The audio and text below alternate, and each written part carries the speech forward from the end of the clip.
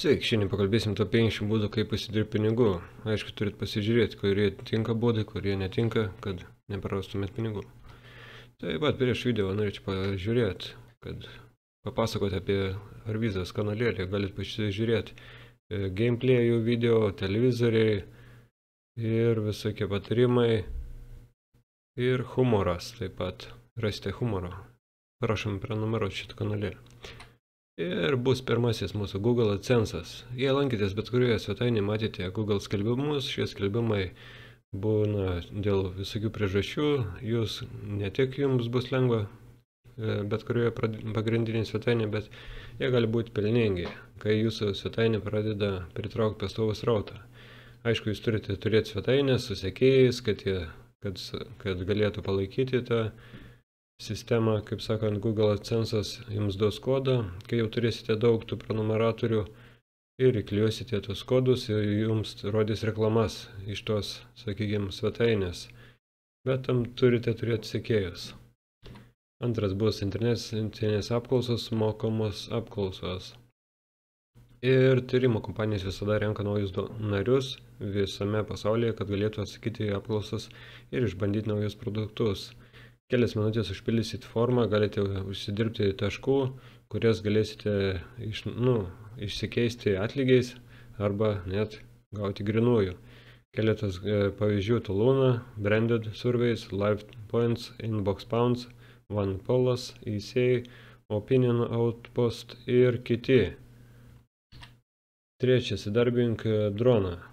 Dronų rinka plečiasi. Įmonės samdo tokius darbus kaip e, oro apžiūra, fotografija ar žemės žemėlapis. Tai gali, kaip sakant, jei esi entuziastas, kodėl neusidirbti. Bet pirmiausia turėtumėte užsiregistruoti savo droną ar atlikti tam tikrus reikalingus e, kursus palei jūsų dronų svorį. Tap kurjeriu ar vairuotoju. Gal turite dviratę motociklą ar automobilį, o kaip su išmaniuoju telefonu. Tai viskas, ko reikia norint užsidirbti papildomų pinigų, pristatant maistą ar žmonės, kai turite laisvų laiko. Registruokite tokias pristatymų kompanijas kaip Deliveroo, kurios visada ieško naujų kurjerių, jo leidžia lankščiai dirbti, kai tik norite pristatyti maistą iš restoranų ir iki klientų. Galite uždirbti 16 svarų per valandą. Nu, čia Didžioji Britanija. Arba Volta maisto pristatymas, taip pat Boltas ir Uberis pavėžėjimo darbai. Padvigubinkite savo galimybės tiesiog susisiekę su vietiniais išsinešėjimais ir dideliais tinklais, tokiais kaip dominos, sužinosite, ar jie turi pristatymų darbų. Turite savo šalutinį verslą, sakykime, kažką ten kurite ar kažką užsiemat, galite parodyti savo produktus keleiviams, jei juos tai domina. Tačiau jei kas nors iš, e, išreiškia susidomėjų jūsų produktais, galite tų produktėlių turėti po savo vairuotojo sėdinę, kad keleivis galėtų juos apžiūrėti. Partnerių marketingas. Nu, aff, affiliate marketing. E, pirmą, jums reikia būti suregistravus tam tikroje svetainėje, kad nuorodos būtų susijęs su jūsų profiliu. Turite paskui įdėti E, reklamuojamo ar naudojamo daikto nuorodą po savo video arba po savo tinklaraštį teksto, tekstu. Jei vartotojas paspaudės, e, jei vartotojas paspaudės nuorodas ar e, prekę, nu, sakykime, nupirks tą prekę, jūs gausite nuo, sakykime, kažkokį atlygį nuo, nuo tam tikro procento, nuo tos prekės. Teko pastebėti, gal jums teko pastebėti, kaip youtuberių nuorodas sunaudojama technika arba reklamuojama daikto nuoroda, sakykime, po to video, tai užsiema eBay'us, Amazonas, bet turit pažiūrėti, kuo ten jie atsiskaito, gali būti, kad PayPal'u arba net tik tai čekiais, o čekių ne visur tai galima, ne visose šalyse galima įsigrininti jos. Naudodamis affiliate, affiliate marketingą, jūs bendradaujate su prekių ženklais ir įmonėmis, su savo svetainės turiniu. Jei paminės produktą ar paslaugą, susisiekite su ta produkcija ir paslauga ar paslauga naudodamas unikalo filialo kodą. Susėsite, sorry, kurie gavote prisiregistruodami prie tos filialo programos, iš to užsidirbs pinigėlių. Bet kad užsiregistruotumėte šitose programose, galite užsiregistruoti ir filialų skelbimų tinkle, kuris siūlo daugybę skirtingų filialų vienoje vietoje. Tokiu būdu jūs galite pamatyti, kad laikui bėgant, kas veikia, kas neveikia. Šis darbėlis bus paspaudimo darbininkas. Aišku, jums gali tik labai daug spaudyti, norint kažką uždirbti ir neaišku, kiek, kiek jūs tenka uždirbsite ir spaudysite. Na, bet galim pasižiūrėti. Koncepcija grindžiama interneto minios šaltiniais, įmonės reklamuojančias konkrečias keičiamo dydžio užduotis, kuriuos reikia greitai atlikti. Ir mums tai yra gana paprastas būtų greitai uždirbti pinigų iš sofos. Yra įvairių užduočių, tačiau dažniausiai jos susijusios su protingų duomenų įvedimu, žiniatinklių tyrimais ar formų pildymu.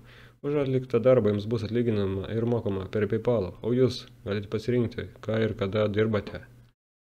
Leisk eiti. Cashbackas. Cashbackas Jūs galite uždirbti už kiekvieną pirkinį kelis procentus. Sakykime, už, nu, tau vis tiek dar sugrįžta. Yra keletas grinųjų pinigų gražinamų svetainių, kurios mokama suma, už kurią jie būtų uždirbę. Bet turit pažiūrėti, kurios svetainės palaiko ir užsiregistruoti tuose ir tada paspaudus iš tos svetainės nuorodą, tada kažką gali pirkti ir užskaitys kaip cashbacką. Galite cashback world pasibandyti. E, konsultavimas, consulting. Kitas būdas užsidirbti pinigų internete yra konsultacijos. Jei esate bet kurios ryties ekspertas, galbūt rašysite žmonių, norinčių jums mokėti, kad konsultuotų, kad jūs konsultuotumėt dėl visokių ten dalykų. Galbūt manote, kad nesate pakankamai svarbus konsultuoti su didelėmis įmonės, tačiau galite nustepti dėl to, kokį atlygį žmonės mokės. Vienas žmogus internete konsultavosi mažai tikėtinos pramonės rytyje po Tokia, kai keletą metų rašė tinklapį, pora prekių ženklų kreipėsi jį prašydami pagalbos socialiniuose tinkluose ir internetinėse rinkodarose. Geriausia, kad žmogus apmokestintų fiksuotą tarifą. Nu, sakym, kad turėtum už tam tikrą laiką kažkokius pinigus, kad gautum, kad nebūtų taip dirbi, dirbi, o nieko negauni. Nu, kiti net apmokestina net 100 dolerių per valandą. Ir atminkite, kad tai uždarbis, kurį jis uždirba, norėdamas, kad patarti žmonėms apie geriausius būdus naudoti socialinės žiniasklaidos įrankius, Facebook, Pinterestą, kad išauktų jų prekių ženklai. Jie nori pradėti konsultuotis, bet nesate tikri, kokius veiksmus atlikti toliau. Taip pat galite sukurti nemokamą paskirtą clarity.fm. Čia svetainė leis visiems, norintiems pasiūlyti konsultacijas, susikurti nemokamą profilį. Kai jūsų profilis bus nustatytas, žmonės jūs ras ir užsisakys sesiją, už kurią jums bus sumokėta. Devintas internetiniai kursai. Jei turite kokį nors įgūdžių, kuriuo galite išmokyti kitus, taip pat galima įsteigti internetinius kursus, kuriuos galite reklamuoti internete. Galite rasti internetinių kursų, kuriuose mokoma nuo visko, nuo kulinarinės iki rinkodaros ar net laisvai samdomų vertėjų rašymo. Mikis siūlo keletą skirtingų kursų, įskaitant kur su apie rašymo programinę įrangą. Daugelis žmonių savo internetinius kursus sukūrė per tokią platformą kaip Teachable. Naudojimai Teachable galite kelti savo kursų medžiagą ir naudoti platformą klientams valdyti ir mokėjimams priimti. Taip pat galite var, var naudoti LearnWorlds, Educational, CourseCraft, Ruzuku, Udemy, Finki, Fik. Zipi Courses. Dešimtas bus e, tinklalaidės, podcastai, internetinių tinklalaidžių talpinimas kartu su savo tinklaraščiu. Turiu, turi tinkamą finansinių centrų tinklalaidį ir naudojasi tą platformą, kad nuolat rastų naujų remėjų planuotojų. Paimkite Entrepreneur on Fire podcastą, kurį įvedė, kurį vedė Jonas Dumanas, Dumasas Remiantis naujausia laidos pajamų ataskaita, šitas podcastas 18 metais davė daugiau pinigų. Nemažai jam pinigų. Raktas į priekį naudojant podcastingui yra rasti savo nišą, padidinti auditoriją ir rasti būdus, kaip užsidirbti pinigų ir palaikyti ryšį su rėmėjais. Tai nėra lengviausias būdas užsidirbti pinigų internete, nes yra daugybė logistikos priemonių susijusių su tinklalaidės rašymu, įrašymu, redagavimu, tačiau vis tiek verta apsvarstyti. Knygų pardavimas, book sales. Nors leidyklos leidybos pramonės buvo daug spaudinių, šiomis dienomis galite užbaigti visą knygos rašymą, leidybos ir rinkodaros procesą internete. Tinklalapiai kaip CreateSpace leis jums įkelti knygą ir ją spausdinti, neįtraukiant į tai oficialaus leidėjo, o jūs ga, net galite įsigyti savo knygą Amazon, kad žmonės galėtų ten nusipirkti. Josephas Haučas turi sėkmingą tiklaraštį My Work from Home Money ir klesti knygų leidybos verslą. Haukas parašė keletą knygų, kurios išleido internete, kad sukurtų nuolatinį pasyvų pajamų šaltinį. Jis sako, kad vidutiniškai per mėnesį parduoda apie 685 knygas, kad gautų vidutiniškai 1800 dolerių pajamų. Jei manote, kad galėtumėte parašyti knygą, kurią žmonės norėtų nusipirkti, tai yra protinga strategija, į kurią reikia atsižvelgti, nes pradinės išlaidos gali būti minimalios ir jūs tikriausiai jau turite kompiuterį ir teksto apdarojimo programinę įrangą. Laisvai samdomas rašytojas, blogeris. Jei turite rašymo įgūdžių ir kūrybinių talentų, taip pat galite gauti atlyginimą už interneto turinio kūrimą. Koli iš tikrųjų uždirba daugiau nei 10 tūkstančių per metus, kurdama kitų svetainių turinių. Iš tikrųjų, yra, tai yra šešios figūros, kurias jie uždirba savo tinklapį. Šeši būdai. Koli pasakojo, kad ji pradėjo rašyti 2.11. Tuo metu ji vis dar dirba visą darbo dieną, tačiau norėdam padidinti pajamas, ne visą darbo dieną kūrė turinį internete. Laikui bėgant jis sugebėjo padvigubinti ir padvigubinti savo tarifus, todėl galėjo mesti rašyti visą savo visą darbo dieną. Sakykime, todėl galėjo ir rašyti. Šiomis dienomis įkūrė kaip laisvai samdomas rašytoja ir moko kitus, kaip padaryti per internetinius kursus, uždirbti daugiau rašymų. Pasak Johnsono, raktas norint tapti laisvai samdomu rašytoju yra įsiaiškinti nišą, užmėgsti ryšius su žmonėmis, kurie jūs gali samdyti ir 100 procentų laiko pateikti aukštos kokybės turinį, nors tai yra daug, daugybė darbo skelbimų, nors yra, kurios padės jums pradėti. Jis sako, kad gana lengva rasti pradedančių įrašymo darbų tokiuose svetainės kaip upwork.com. Tapkite reklamos rašytojai. Jei turite svetainę ir naudojamės didelę socialinę žiniasklaidą, Taip pat gal galite užsidirbti pinigų rašydami remiamus ir įrašus, ir skelbimus. Bet kaip tai veikia? Iš esmės įmonės yra pasirengusi mokėti tinklaraštėms ir influenceriams, kad jie reklamuotų savo produktus ir paslaugas. Turite platformą, kad tai būtų tinklaraštis ar Instagram, galite grininti pinigus. Aišku, pažymė, pažymėkite visą remamą turinį, kad kaip edą, kaip reklama, kad atitiktumėt Google taisyklės ir nuostatas. Reklamuokite tik tas įmonės, kurios naudojatės ar kuriomis tikite.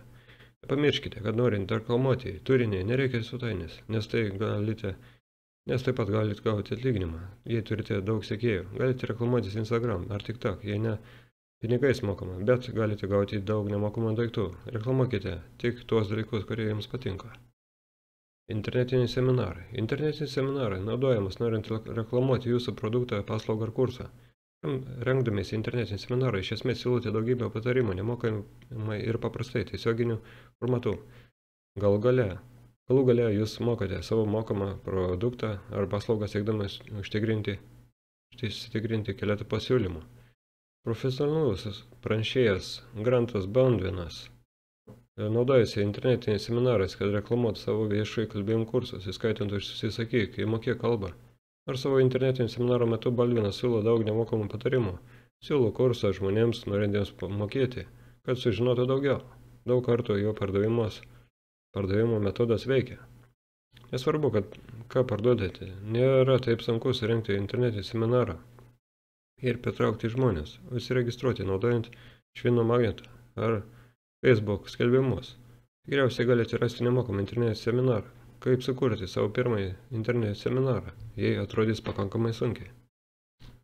YouTube kanalas. YouTube yra dar viena platforma, leidžianti žmonėms susidėti pinigų internete. Yra daugybė YouTube kanalų, bet kokia tema, jei pagal, galite pagalvoti, ir daugiau žmonių, yra dauguma žmonių, turinčių daug stebėtojų, uždirba šiek tiek pinigų, mainais į savo vaizdo įrašus ir laiką. Dešimt didžiausių YouTube žvaigždžių uždirba 127 milijonus jau dolerių. Populiariausias žaidėjas Dan TDMas pats uždirba 116 milijonų. Ar tiek uždirbsi? Tikriausiai ne. Tačiau galite užsidirbti pinigų per YouTube naudodamėsi pačios platformos skelbimo tinklu arba gaudami remamų įrašų. Jei jums patinka kurti vaizdo įrašus, YouTube kanalas, kanalo kūrimas gali būti įdomus būdas užsidirbti šiek tiek pinigų. Fiveris, laisvai samdomas darbas. Fiveris dabar yra didžiausia pasaulyje žmonių norinčių užsidirbti pinigų pardavėjant mažas paslaugas, vadinamas koncernais rinka. Galbūt jums patinka rašyti, tvarkyti Facebook puslapius ir laisvalaikiu. Ar laisvalaikiu užsiimti šiek tiek grafinį dizainą. Yra tiek daug laisvai samdomų darbų, kuriems reikalingi paprasti įgūdžiai ar tiesiog laikas, kurio galbūt kažkas kitas neturėtų. Numatytoji kaina 5 doleriai, taigi fiberis. Tačiau galite pridėti papildomą paslaugų už daugiau pinigų. Nors tai gali atrodyti nedaug, jis gali greitai prisidėti ir yra daugybė pavyzdžių, kaip žmonės ir svetainės tikrai gerai gyvena. Svarbiausia yra sukurti sistemą, kuri sumažintų laiką praleidą, praleistą kiekvienam darbui. Tačiau yra dar vienas būdas dar labiau pasipelnyti iš Fiverr už potencialiai daug mažiau darbo. Kaip? Paprasčiausiai perdodant darbus kitur. Raskite padorų logotipo dizainerį, tada atsisakykite, atsakykite į Ofork ar net vietinės skelbimus. 5 dolerių išlaidos gali gal lengvai tapti 50 dolerių ir tai galite pakartoti. Geriausias dalykas susijęs su laisvai samdom daru yra tai, kad jūs galite dirbti UK ir visada pasaulyje dirbantiems klientams, turintiems tiesiog interneto ryšį iš namų savo valandoms ir lavindami vertingus įgūdžius. Taip pat galite naudoti Upwork, Freelancerį, Fiverrį, Guru. Aktorių agentūros. Nu, ar tu įsivaizduoji save kaip pradedantį jauną aktorių, ar tik žmogų, kuris prieina prie fono, pro fono Eastern Dance sezoną. Tai gali būti tu, jei kreipiesi dėl tave ar filmo priedo. Lyginimas taip pat nėra blogas, vidutiniškai 60-80 svarų per dieną. Nu, čia kai kuriuose šalyse. Ir jūs vargu ar turite ką nors daryti. Yra daugybė atrankų agentūrų, kurios teikia norinčius priedus. Jie uždirba savo pinigus, mažindami jūsų uždarbį. Todėl prieš imdamas į darbą visada paklauskite, kiek gausite, kas tai yra, kas per darbas. Pasidomėkite, kaip tapti ekstra. Taip pat daugiau patarimų, kaip gauti savo pirmąjį darbelį. Parduokite visus senus kompaktinių diskų žaidimus filmus. Jei norite užsidirbti labai greitai, tada gali parduoti savo senus angalius, kurie užgrozino jūsų kambarį. Yra gera idėja. Iš kiekvieno daikto galite dirbti, uždirbti nuo 10 iki 20 svarų. O uždarbis tikrai gali padidėti, jei turite didesnę, didelę kolekciją. Kol jūs tai darote, pažiūrėkite, ar jūsų tėvai neturi netvarkos, kuri, kuri melai matyt. Nu, žodžiu, ar turite atliekamų daiktų jūs tėvai? Ar turi. Bet to Amazon Marketplace, Preload, gali parduoti beveik viską. Music Map, P. Ir įdėkite į savo skelbimus. Parduokite savo nuotraukas. Jei manote, kad galite padaryti gerų kadrų, šiek tiek beribiškumą, pabandykite nemokamai kelti savo nuotraukas į internetinės svetainės. Geras atskirties taškas yra Adobe stokas, Get Images, užsidirbkite daugiau pinigų, parduodant nuotraukų objektus, kurių paaiškus rezultatai yra mažiau. Bet matote, manote, kad jų paklausa gali būti šiek tiek didesnė. Galite įdėti, pavyzdžiui, alami 500 px, shutterstocką, įstoką, kenstoką, stokį, nu, kaip sakant, bet viskam reiks laiko, tai gali užtrukti, a, Keli, kelius metus tai tikrai reikėtų investuoti. Paskiau jau dar daugiau. 20. Vaikų priežiūra, babysitting. Tai klasikinis pinigų uždirbimas ir dėl gerų priežasčių. Jums moka gerai už televizoriaus žiūrėjimą, o ne daugiau. Aišku, reikės valyti ir užpagalius.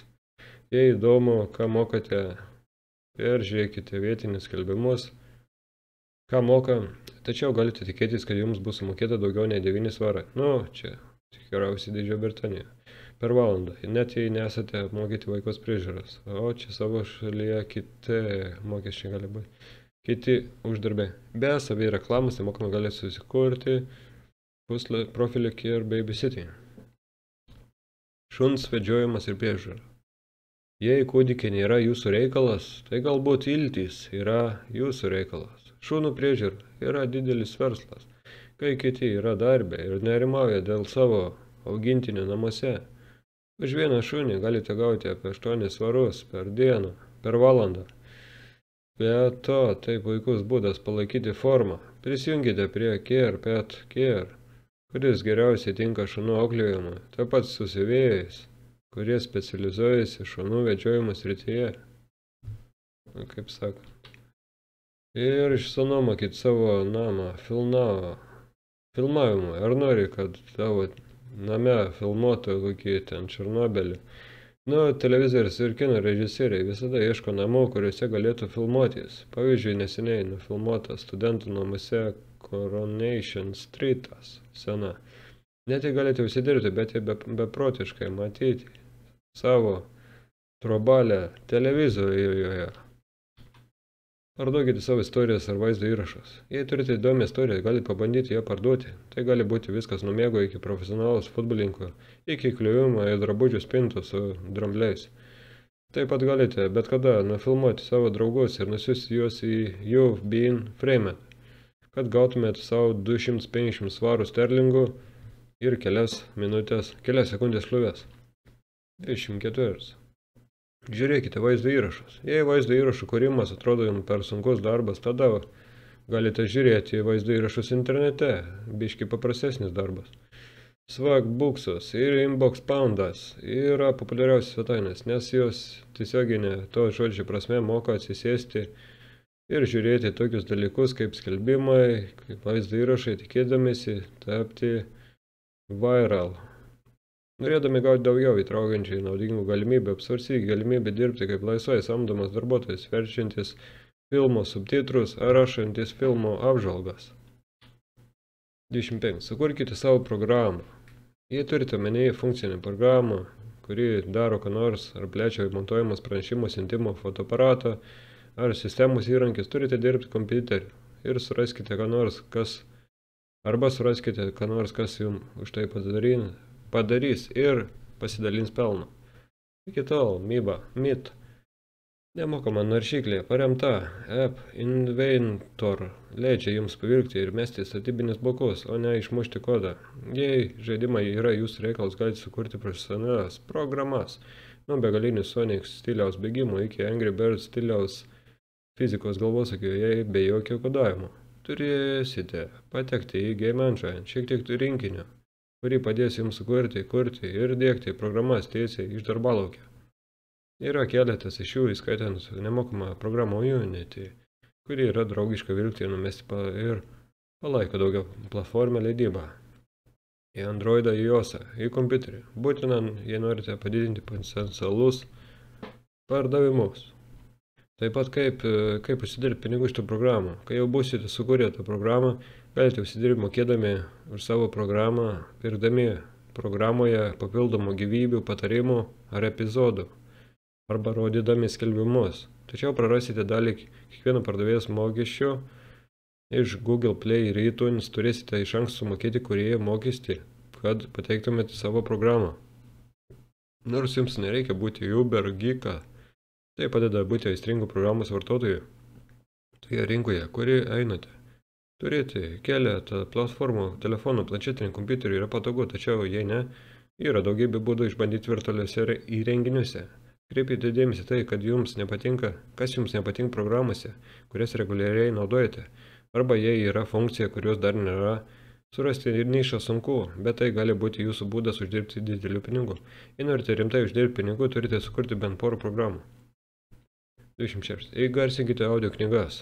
Audio knygų pramonė kasmet auga ir atrodo, kad vis daugiau žmonių nori klausyti savo knygų užuot skaitę. Vis dėlto dauguma knygų niekada nepatenka į garsinę knygų formatą. Audio knygos gali būti labai naudingas autoriams, jie ne tik uždirbs pinigų iš savo knygų, bet padės jiems įsiskirti iš minios. Išsamei informacija apie tai, kaip pradėti audio knygos karjerą, jei turite puikų balsą ir mėgstate skaityti. Tai puikiai galimybė tapti audio knygas pasakotoju. Vienas paprasčiausių būdų yra užsiregistruoti acx.com. Tai paslauga jungianti garsinių knygų pasakotojas su autoriais. Be to, užsiregistruokite. Anksčiau nurodykite paslaugą, taip pat turite investuoti į aukštos kokybės mikrofoną ir įrašymo programinį įrangą. Sukurti keletą pavyzdžių, kurie parodytų jūsų vokalo įgūdžius. Jei norite išplėšti savo pasikiamumą, išplėsti. Sukurkite profilį Upwork ir suraskite audio knygų pasakotojo darbus. Spausdinti pagal užsakymą gaminius. Nuo marškinėlių iki kūdikių sėlinukų yra daugybė parduotuvių, kuris parduoda pritaikytomis įrankius, pritaikomus įrankius ir dalykėlius. Galimybė yra parduoti savo įkvėpimą kitiems klientams, kaip parduoti produktus pagal pareikalavimą, pagal užsakymą. Įkelkite geriausiai savo iliustracijas, nuotraukas ar anegdotus ir pasirinkite, kuriuos produktus galite pritaikyti pagal savo, savo meną, sakykime. Jei kas nors perka prekę iš jūsų asortimento, jūs gaunate tam tikrą pardavimą, nieko nereikia gaminti, sandėliuoti ar išsiųsti. Jums net nereikia jokių savo idėjų, jei esate tikri iš įkvėpimo, užuot nurodę mokestį, galite išvardinti kitų žmonių įprašius produktus. Iškokite melų ir juokingų vaizdų, logotipų ir citatų, tinkančių keliems produktams. Paprasčiau, tuo geriau. Taip pat gera idėja sulaukti savo kūrybos ir jas reklamuoti socialiniuose tinkluose. Priverskite savo draugą vilkyti marškinėlius su ta linksma citata, kurią sugalvojate ir pasidalykite ją su savo sekėjais. Dauguma mūsų paminėtų pardavimo platformų galima laisvai įtraukti į sąrašą. Tačiau kiekviena iš jų pasirinks savai, patikrinkite prieš registruodamiesi. Taip pat gali būti tarptautinių mokesčių formų, su kuriamis galėtumėte susižinoti. Jei norite susidurti su tam tikromis mokesčių institucijomis, susipažinkite su savo šalies mokesčiais. Pradėkite dropshippinti Su sėkmės istorijomis apie tai, kaip verslininkas uždirbo 6 tūkstančius dolerių per 8 savaitės ir kaip parduotuvės savininkas uždirbo 6 skaičius parduodamas tik vieną produktą, yra daugybė įrodymų, kad dropshipping yra tikras būdas užsidirbti pinigų internete. Jei nežinot, kas yra dropshippingas, tai yra verslo modelis, kad jūs parduodate produktą klientui, tačiau teikėjas parduotuvė e, pakuoja ir išsiuntė jūsų klientams kaip jūsų vardu. Geriausias būdas užsidirbti pinigų internete dauguma verslininkų daugiausia dėmesio skiria kelioms rinkodaros strateginėms. Rodyti Facebook skelbimus įtakingams, rekla, įtakingiesiems, reklamuoti jūsų produktus ir siūsti tiesioginius pranešimus potencialiems klientams socialiniuose tinkluose. Kaip sakant, jūs, iš jūsų nuperka. Nu, čia ir pirkėjas nuperka iš jūsų parduotuvės, bet iš tikrųjų jūs būtumėt susitarę jau su tuo tikėju, kad e, jūs parduosit brangiau ir, nu, kad tikės parduos pigiau jums ir jūs esate užsikėlę tuos kelius eurus, tai tie keli eurai jum ir palieka. Jūs parduodat kaip už 25, o tas tai gauni tik 15. Ir tikit jūs kažkiek uždirbat. L pašto rinkodara. Pagalvokite, kiek L paštų laiškų kiekvieną dieną gaunate į savo gautuosius. Daugelis jų tikriausiai yra L pašto naujienlaikraščiai, į kuriuos jūs registravote. Kai kuriuos nekantraujate atidaryti o kiti atsiranda net nesuprantate iš kur. Nišinio L pašto biuletenių sukūrimas – puikus būdas pasiekti tikslinę žmonių grupę ir sukurti tvirtą ir tvarų verslą. Milijoninės įmonės, tokias kaip Skimas, buvo kūrimas kasdieninio L pašto naujienlaikraščio gale. Tikriausiai, kad pradėti L pašto naujienlaikraštį nėra sunku. Su tokiamis platformomis kaip ConvertKit, Drip, MailChimp ir Aweberis dar niekada taip nebuvo lengva. Galite sekti procesą, nuspręsdami norimą aptarnaujamą nišą ir L laiškų stilių.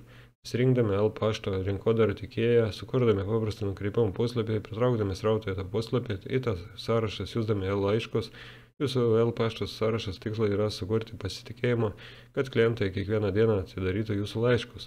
Turėdami nemažą žmonių sąrašą, kuris atidaro jūsų L laiškus, galite iš to sąrašo gauti kelius būdus. Pavyzdžiui, parduoda savo skaitmeninius produktus, siūlyti narystės kursus, siunčiant prenumeratorius į partnerius pasiūlymus, parduoti gimimus, tapk influenceriu. Asmeninis prekės ženklo kūrimas taip pat gali padėti užsidirbti pinigų internete. Žinote, kad Kristianas Ronaldas uždirbo beveik milijoną dolerių už vieną Instagram įrašą. Todėl jis buvo geriausiai apmokos influenceris. Nors tai yra realybės e, žvaigždės ir sportininkai, tačiau ir jūs galite užsidirbti, ne, nu, nesvarbu, kad turite mažiau influencerių negu Ronaldo, vis tiek galite užsidirbti. Norėdami tapti influenceriu, turite sukurti sveiką sekėją. Lengviausias platformas tai Instagramas, YouTube'as, kai kurie didžiausi takingų įžymybių neturintis garsenybės dažnai pirmą į skonį šiuose platformose įgyja. Jei norite sukurti didesnį Instagram auditoriją, galbūt norėsite sužinoti, kaip sukurti daugiau Instagram sekėjų. Norėdamas įdirbti pinigų kaip įtakingas asmo, galite apmokestinti už remamas įrašus kalbėjimus, sukurti savo internetinę parduotuvę, parduoti produktus, pridėti biografijos, nuorodų į savo biografiją, parduoti savo nuotraukas, parduoti skelbimus savo tinklarą laidėje, gauti atlyginimą nu, kaip prekė ženklo ambasadorius, sukurti knygą, gauti atlyginimą ir pasirodymą, už pasirodymą renginiuose ir taip toliau. 31. Pradėti rašyti blogą. Tinklaraščių rašymas yra vienas seniausių būdų užsidirbti pinigų internete. Žmonės mėgstantis rašymą dažniausiai rašo tinklaraščius su niša. Pavyzdžiui, tinklaraštis apie prokrastinaciją, automobilius, laivų gabenimą, žaislus dažniausiai yra pakankamai siauras, kad galėtume sukurti ištisą ištikimą sekėją, tačiau pakankamai didelį, kad galėtumėt apriepti daug žemės. Tinklaraščiai galite kurti įvairiose platformose, pavyzdžiui, Shopify. Pašalinkite checkout funkciją, kad jums nereiktų mokėti abonemento kuriant ją, ja, baigiant WordPressą. Pradėdami kurti savo tinklaraštį, sutelksite dėmesį labai konkrečius praktinius žodžius, toliau skleiskite jas į kalbas, bet svarbias kategorijas, kai augate ir dominuojate naujose erdvėse. Tai leis laikui bėgant sukurti didžiulį tinklaraštį. Atminkite, kad dizainas taip pat labai svarbus, norim padaryti gerą įspūdį lankytojams. Yra keli būdai įsidirbti tinklaraščiui, tinklaraščiui. Į savo įrašus galite traukti partnerių nuorodas, nepamirškite disclaimerio, galite gauti pajamų iš AdSense, dėdami skelbimus į savo svetainę, Remami įrašai gali padėti užsidirbti pinigų iš tam tikrų prekės ženklų. Tinklaraštininkai savo svetainės taip pat gali parduoti skaitmeninius fizinius produktus. Užuomino Berlo produktus galite pridėti prie savo svetainės. Taip pat galite naudoti kurdami autoritetą, kad galų galės galėtumėte sulaukti kalbėjimų, koncertų, televizorius pasiūlymų ar didelių klientų srautų. 32. Atlikite vertimo darbą. Jei jums reikia užsidirbti pinigų dabar, vertimo darbai yra gana nepakankamai išnaudotas rytis. Norėtume tai sėkmingai atlikti, turėtumėt laisvai kalbėti bent dviejomis kalbomis. Tai jeigu jei mokykloje esate du kalbės ar mokote populiarią kalbą, gali būti puikiai užduotis idėja užsidirbti pinigų. E, turėsite parodyti savo vertimą įrodymą, jei turite kalbos įsilavinimą ar turite patirties verčiant tekstą, būtinai parodykite savo savo, sakykime, pavyzdžius. Daugumai bendroji reikia vertimo testo. Turėkite omenyje, kad turite laisvai kalbėti į kalbomis, kurias, į kurias kreipitės, kad būtumėte vertėjas. Taigi negalima naudoti vertimo įrankių. Nusidėti pinigų galite šiuose svetainėse Offwork, People per Hour, SDL, Gengo, Pro Translating, Translators Base. 3. Tapkite internetinį mokytoją.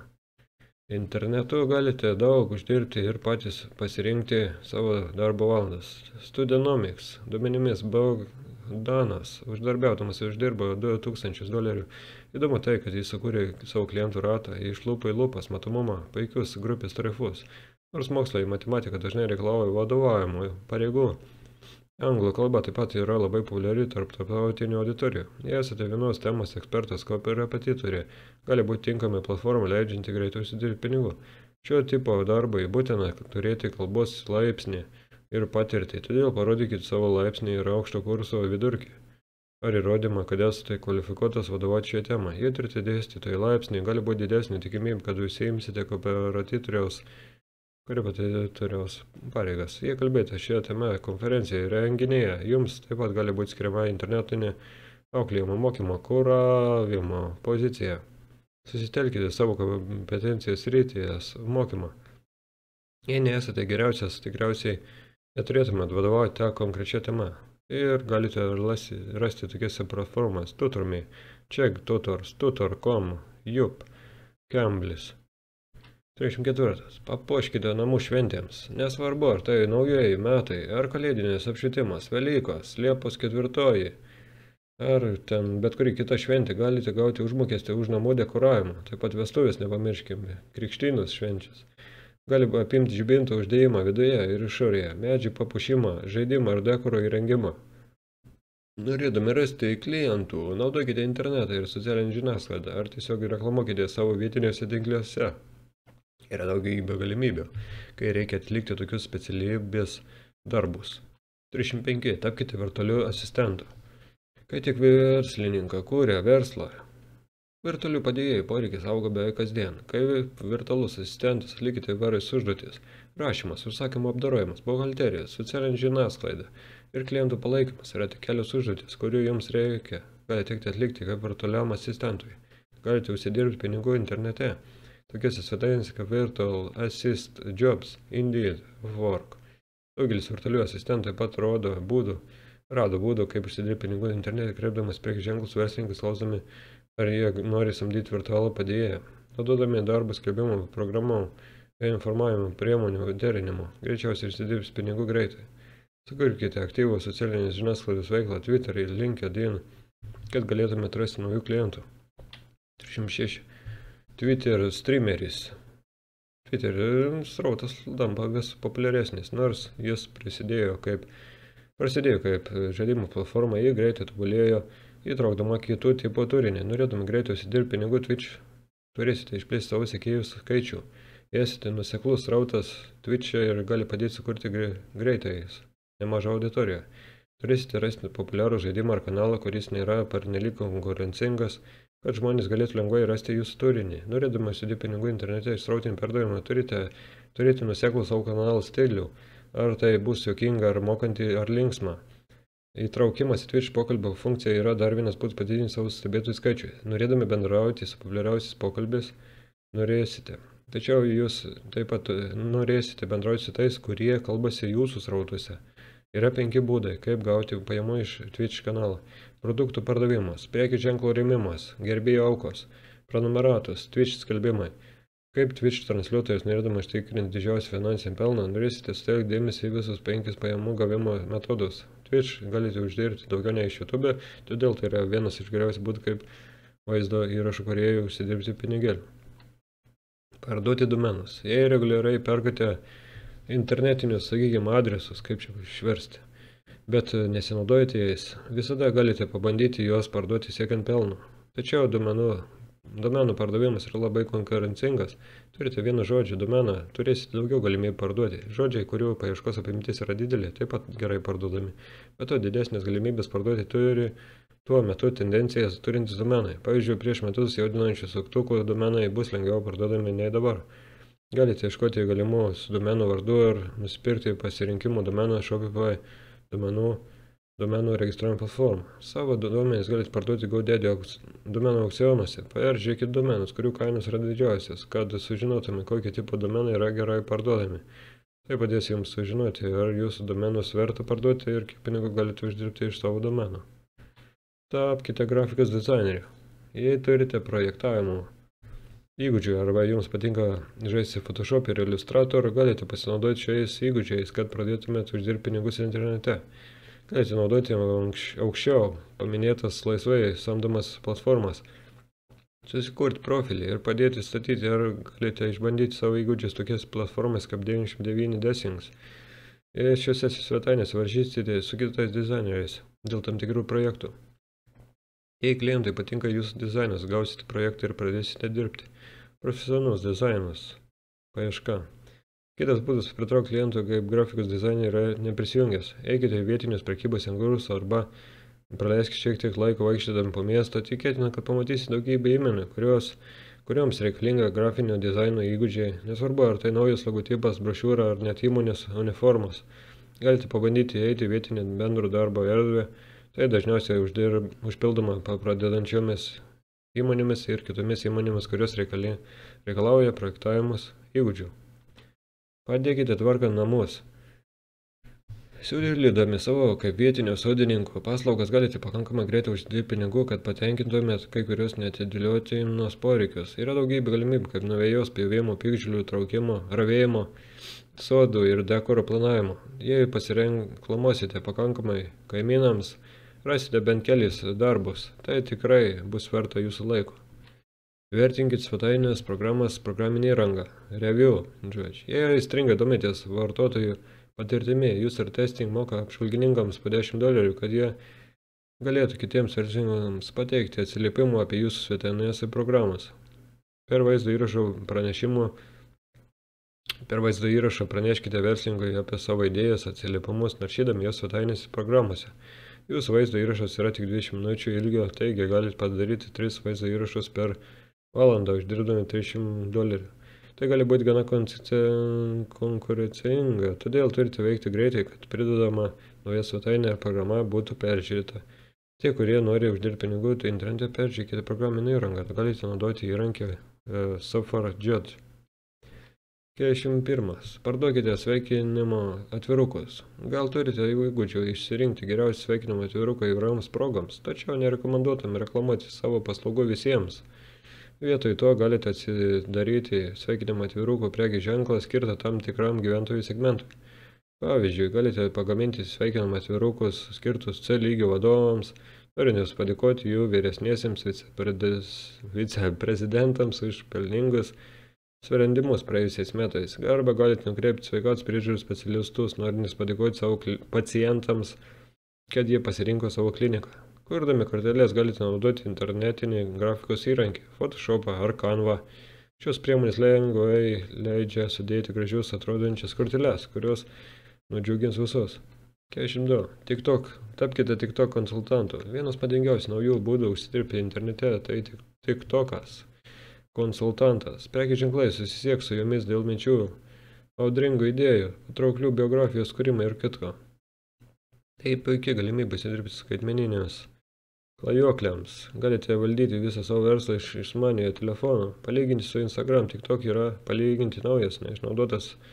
Todėl padedant, padedant prekių ženklams didinti prekių ženklą žinomumą, programuose galite pasiekti. Tačiau prieš naudodami tik tą konsultuojant paslaugas verslą turite turėti keletą talentų. Svarbiausia žinoti, kaip sukurti virusinius vaizdo įrašus, nu, kaip greitai plintančius, kurie paskatins žmonės bendrauti su prekių ženklais. Jei neturite šios platformos patirties, vis tiek galite pabandyti, galite, sakykime, eiti, užmėgsti kontaktą, eidami tik tak kursus. Reklamuokitės 43. Reklamuokitės įmonės naudodamės savo automobilių Tokias platformas kaip Car, Car Arvitaizeris sujungia prekių ženklus ir įmonę su vairuotojais. Paprastas procesas. Suteikite, paversi savo automobilį tarp tinklinių stendų už kainą. Jei pretenduosite, galite uždirbti nustatytą mėnesinį mokestį už reklamą savo automobiliu. Norėdam tai padaryti, nieko nereikės mokėti, tačiau jums reikės švaraus vairavimo įrašo. Nu, tačiau jums reikės biškai pavairuoti mašiną tam tikrą kiekį kilometrų ir gana naujo automobilių. Turėsite vairuoti automobilį, kad būtų verta prekiniams ženklams mokėti už paslaugas. Ir užsidirbsite truputį pinigų. Norintiems uždirbti dar daugiau pinigų iš savo automobilį, galite paversti savo automobilį reklamą, naudodamis Free Car Media. Jūsų automobilis bus apviniotas nuimama vinilo lipdoku. Mokyk anglų kalbos. Jei tavo kalba yra gimtoji, anglų kalba, galite to nesuprasti, bet jau esate, turite kvalifikaciją reikalingą linksmoms pajamoms, pajamoms, kurios jums gali atnešti stabilų atlyginimą iš bet kurios pasaulio vietos, sako International Living. Kai kurios šaltiniai apima Go Overseas, Teach Away, mokyti anglų kalbos kinų studentams internete, į Tudor Group, mokyti anglų kalbos Taivano vaikams ir saugusiems internete ir English Hunt, mokyti anglų kalbos telefonu, kuriejas saugusiems studentams. 45. Plaukite automobilius. Žmonės visada nori, kad jų automobiliai būtų plonami ir gražus. Galėtumėt būti mobili automobilio plovėja, va plovėjas.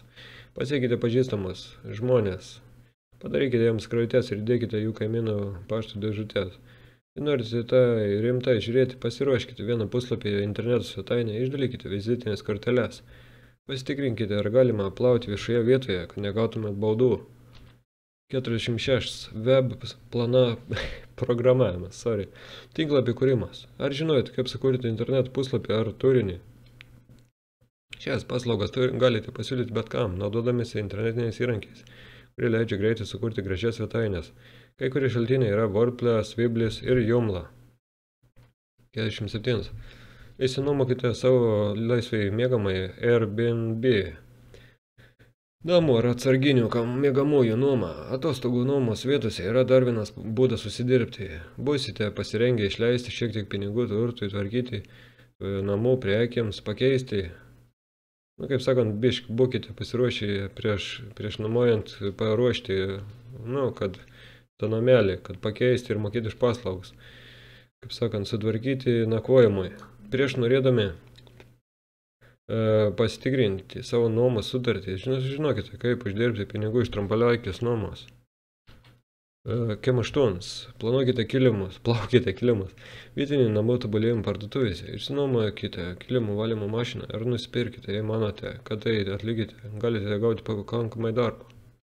Tikriausiai pastebėsite, kad daugelį žmonių reikia kažko panašaus, kad aš jau aktyviai neieškoju paslaugos. Galite plauti kilimus savininko namuose arba leisti valyti garais, ne vietoje, atsižvelginti darbą ir pasitikėjimą, kuris gursite su savininkais.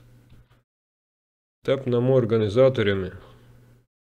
Lengvai atlikite namų organizavimo žmonėms. Šiam įmonėje, šiai pramonėje, kurį sulaukė didelį populiarumą po to, kai debatavo Netflix hitas Tidying Up with Mary Kondo. Jei pats esate tvarkingas ir tvarkingas žmogus ir gerai organizuojate erdvės, kodėl nepasiūlė savo paslaugų aplinkiniams žmonėms? Nustepsite, kiek žmonių net jūsų pačių socialinės žiniasklaidos kanale gali paskatinti tai daryti kažką panašaus. Vėlgi, tokie svetainiai kaip care.com taip pat padeda užmėgsti namų organizatorios žmonėms. Ieškantiems tokio tipo paslaugų. Viskas, nu, ko priklauso, ar norite patekti į profesionalų kompaniją, ar patys ją pristatyti žmonėms, kurie jų jau yra jūsų asmeninėme ar verslo tinkle. 20.